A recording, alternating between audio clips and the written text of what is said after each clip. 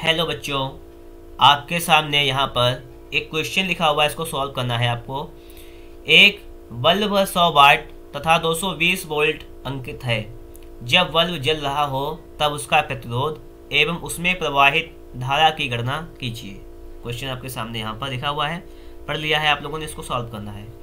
लिखा हुआ है कि एक बल्ब पर, एक बल्ब पर 100 वाट और 220 वोल्ट।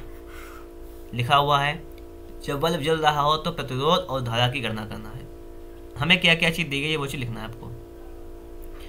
यहाँ पर वाट, ये सौ वाट, ये वाट क्या होता है? शक्ति होती है ना, पी। ये हमें शक्ति पी रखी है, हमें बराबर सौ वाट। और यहाँ पर 220 वोल्ट, हमें वी का मान दे रखा है 220 वोल्ट। मान किसका निकालना है? प्रतिरोध निकालना है। प्रतिरोध क्या होता है? आर हमें आर निकालना है। ठीक है प्रतिरोध आर का मान निकालना है। इसके बाद हमें प्रवाहित धारा निकालनी है। और धारा आपकी क्या होती है? आई निकालनी है। आई बराबर क्या हो जाएगा?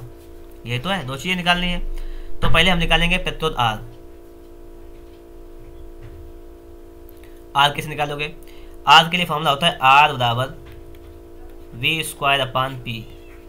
ठीक है, और क्या होता है? V square upon P formula लगा देंगे। आप लोगों ने पढ़ा होगा कि पी बराबर होता है वी आई। ठीक है? पढ़ा होगा। और पी बराबर वी और आई का मान होता है आई बराबर होता है, क्योंकि आपका, आपने ओम का नियम पढ़ा होगा वी बराबर आई आर पढ़ा होगा। तो यहाँ से अगर हम लोग यहाँ से आई का मान निकालें तो हो जाएगा वी अपन आर यहाँ से आई बराबर वी अपन आर आ जाएगा। तो यही यहाँ पर वी आई की जगह पे वी अपन आर रख देंगे।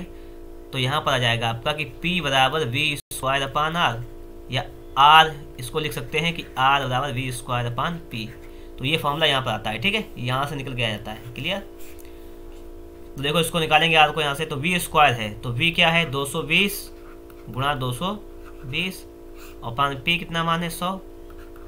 तो ज़ीरो से ज़ीरो कैंसिल इस ज़ीरो से ज़ीरो कैंसिल बाईस का हो जाएगा चार सौ चौरासी।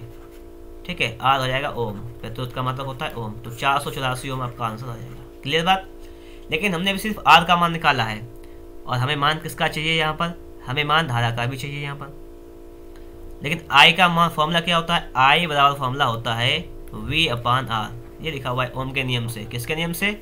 ओम के नियम से होता है। और वी का मान आपको दिया गया है यहाँ पर 220 और बटे में आर का मान है आपका चार सौ चौरासी। तो 220 बटे चार सौ चौरासी। इतना आ जाएगा। चार से काटो इसको। चार पंचे बीस और बचा कितना? दो, चार, पंचे बीस, पचपन आ जाएगा। चार, दूनी, आठ, चार, एक, चार चार, दूनी, आठ, चार, एक चार, एक सौ इक्कीस। ठीक है? ग्यारह से भी कट जाएगा। ग्यारह अपना पचपन हो जाएगा। ग्यारह ग्यारह में एक सौ इक्कीस। तो यहाँ पर धारा आई का मान निकल के आ जाएगा पाँच बटे ग्यारह एम्पियर। पाँच बटे ग्यारह एम्पियर धारा का मान यहाँ पर निकल के आ जाएगा। और यहाँ पर आपसे सिर्फ़ दो चीज़ें ही पूछी गई थी कि प्रतिरोध और धारा। हमने दोनों चीज़ फाइंड कर ली है। वीडियो अच्छा लगा हो तो उसे लाइक कर दीजिएगा। चैनल पर नए हैं, चैनल को सब्सक्राइब नहीं किए हैं तो चैनल को सब्सक्राइब ज़रूर कर लीजिएगा। मिलेंगे